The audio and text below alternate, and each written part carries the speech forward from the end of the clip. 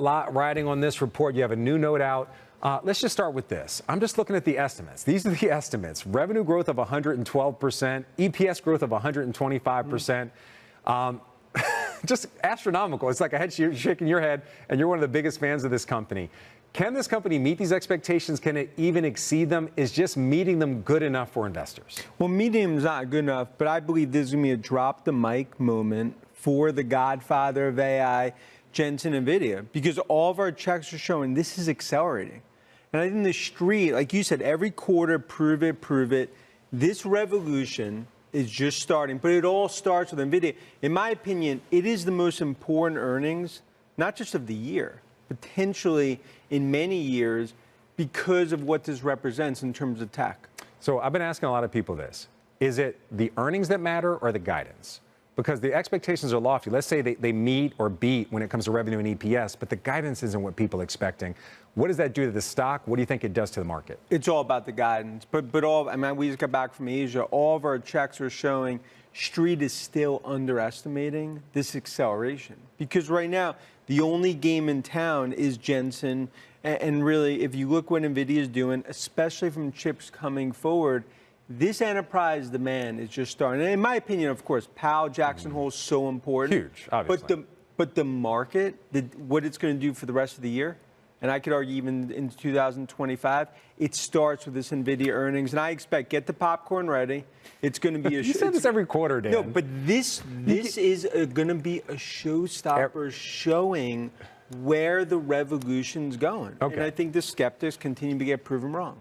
What about the questions? Um, the air pocket between different iterations of their chips, uh, some of their customers making their own chips, and the fact that the AI uh, enthusiasm seems to be dying down. You're not concerned about any of that. Yeah, so it's hit on them. For a delay two to three months, it's I view that as sort of an asterisk. In other words, this is not moving the needle in terms of from a demand perspective.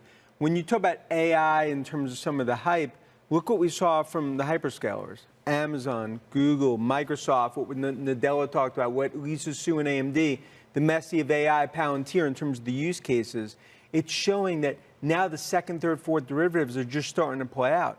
So when I look at what the godfather of AI, Jensen and NVIDIA are doing, this is, we're talking about transformation. I believe a year from now, this is a $4 trillion market cap along with Apple. Okay and Microsoft. By the way, you changing his last name. It's Jensen NVIDIA. It's not Jensen Huang anymore. You just decided? Look, this you're, is. You're it, making decisions. I want to get back to your note.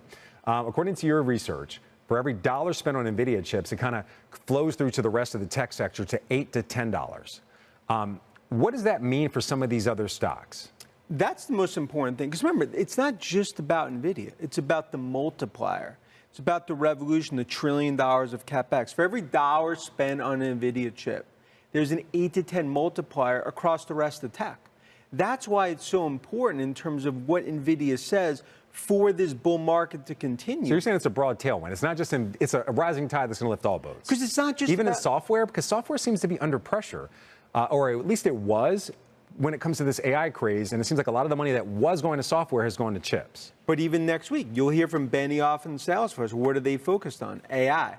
Look at McDermott and ServiceNow. In other words, it's just starting now. The software wave is a second, third derivative. That's why I think we're seeing here a year from now, NASDAQ 20,000, and it continues because now the rest of this party, it is only 9 p.m. in the AI party. That goes to That when? we believe it goes to 4 a.m. To 4? Not to sunrise, but it stops at 4. 4 a.m. And look, will there be times music stops and there's glass yeah. in the food? Yeah.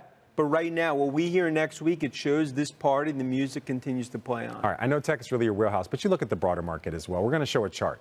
This is the Mag 7 and the S&P equal weight since the start of this quarter. The equal weight outperforming the Mag 7. Um, when it comes to that Mag 7 trade, how important are these earnings? We had our data team run the numbers. Uh, implied volatility post earnings, 10% up or down.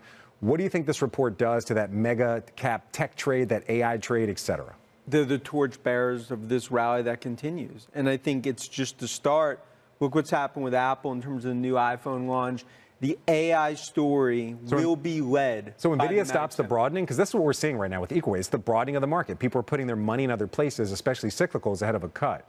So you're saying that this report could actually change some of those flows? Oh, I think it does. And I think ultimately tech will lead the market higher from a large cap perspective we look into year end, and I think Mag 7 actually outperforms. But, look, but again, many have been skeptical. The Bears in hibernation mode, they've been negative on big tech for the last few years.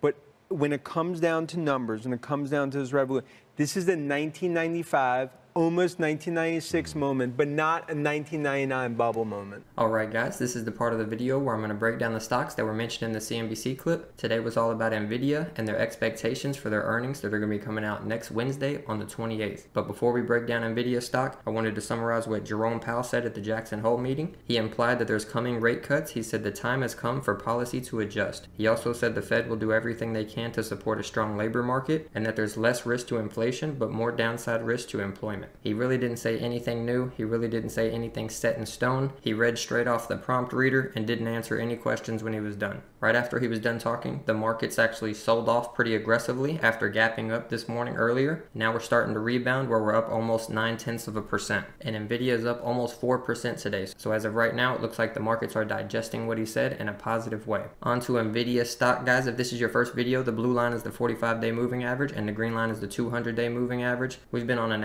absolutely massive run from the lows down here to the highs. We ran almost 44%, guys, in a straight line. And that's even before the earnings come out. So this could be a buy the rumor, sell the news type of earnings event. They could also come out and blow out expectations, give even better guidance than expected, and the stock continues to blast off to the upside. We're kind of in no man's land right now. We're well above the 45 day moving average and the white ascending trend line that it respected for several months. I'm more or less expecting Nvidia and the major markets to chop sideways through the rest of today and through Wednesday until we get this number because this will affect all AI stocks. It's not just going to be Nvidia. Nvidia has astronomical expectations for what they're expected to meet on this earnings report, but their future guidance is going to be the real stock mover. The bullish case for Nvidia stock, I would expect us to keep consolidating, let this 45 day moving average maybe catch up to the bottom, make that a nice support, and then continue to the upside. And for the bearish case for Nvidia, we do have three consecutive lower highs, so that's bearish. We're also well above all of the trend lines and moving averages after a 45% move straight up. So taking those into consideration, we're definitely due for a sideways consolidation, even a pullback period after a move like this. You can see the last time Nvidia had a sell-off, we had a double top, then we consolidated for about a month before breaking lower, touching the trend line, and continuing to the upside. You can see right before earnings, they made it all the way back up to the previous highs at that make it or break it point. If they would have came in with bad numbers, it would have been able to sell off and had a triple top. But since they blew through the numbers, we had a gap up and it kept going to the upside. So just because we've had such a magnificent